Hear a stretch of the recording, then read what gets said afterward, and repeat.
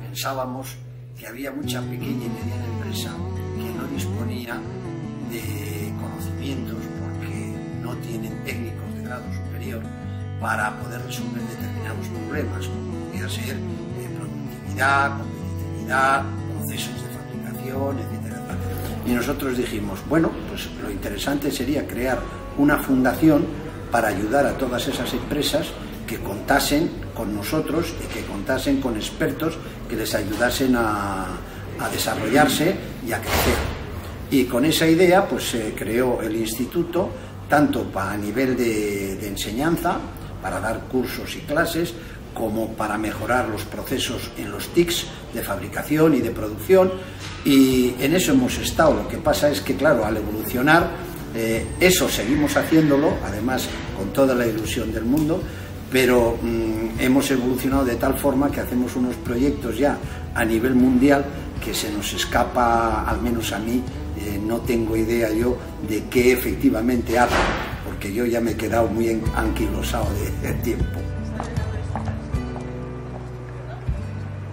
Hablar en tecnología de 30 años es, es, es, es casi, casi, imposible. Eh, estamos consiguiendo una especialización fuerte, con competencias tecnológicas fuertes, en una serie de líneas que estas líneas son de futuro. No es, ninguna de estas líneas son líneas maduras desde el punto de vista tecnológico y todas ellas tienen mucho desarrollo por delante, tienen mucha carga de investigación y tienen mucha carga de aplicación dentro de unos años.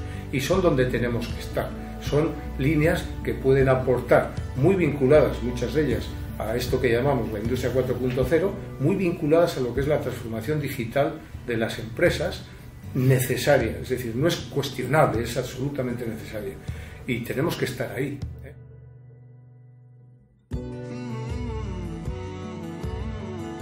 Y, y, fue toda una labor de, de, gente que creía en el instituto y que verdaderamente, pues al ver 61 personas trabajando, y bueno, creo que tenemos intención en el año 2020 de llegar a, a 80 personas, pues para todos los ingenieros industriales Castilla y León, esto es un orgullo. A nosotros, como digo yo, son nuestras 80 medallas en el año 2020 que tendremos para, para nuestro, nuestra satisfacción.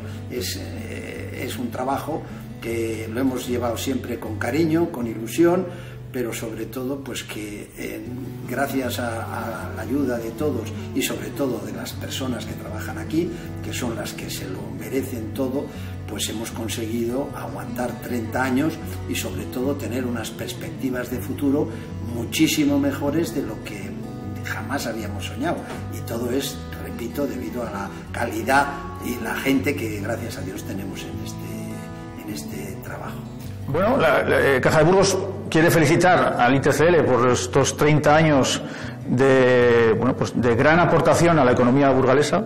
Eh, yo creo que el ITCL, el papel que ha desarrollado aportando desarrollo tecnológico y más allá que desarrollo tecnológico, pues desarrollo también en, en emprendimiento a la economía burgalesa, pues ha motivado que forme parte de su ecosistema empresarial con un papel muy relevante y queremos también que tenga un papel muy relevante durante los próximos 30 años, donde hoy por hoy la incorporación de las nuevas tecnologías a la industria pues son muy relevantes, son un hecho diferencial para conseguir que la economía burgalesa eh, bueno, pues tenga un papel relevante a nivel nacional y un instituto tecnológico como el, el que tenemos en Burgos puede jugar y debe jugar un papel muy relevante en la apuesta por la tecnología, por la incorporación de las nuevas tecnologías a las empresas.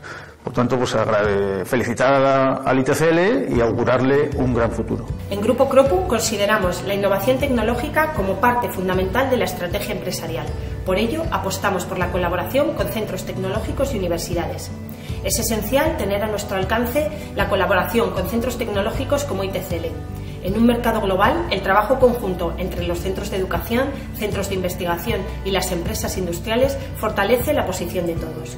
ITCL nos ayuda a identificar proyectos, oportunidades de I+D, analizar tecnologías. Además, la confianza, el compromiso, la flexibilidad y la proximidad de las partes resultan fundamentales para el éxito de los proyectos. Grupo Cropu apuesta por un crecimiento sólido poniendo el foco en la innovación tecnológica. Por ello, apostamos y confiamos en la colaboración como base de nuestro crecimiento. Bueno, pues está claro que para Burgos creo que la figura del Instituto Tecnológico de Castilla y León ha sido clave durante estos 30 años, ya que ha sido, pues, eh, de alguna manera, el apoyo que, todas las empresas de Burgos han tenido a la hora de plantear sus, sus sistemas de, o sus proyectos de innovación.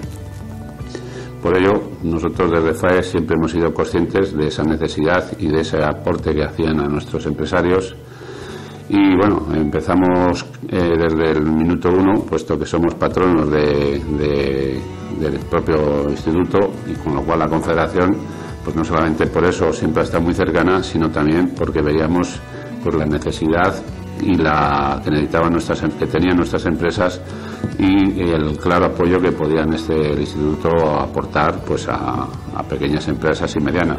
Gracias ITCL, pues eh, enhorabuena por ese 30 aniversario y hay que seguir.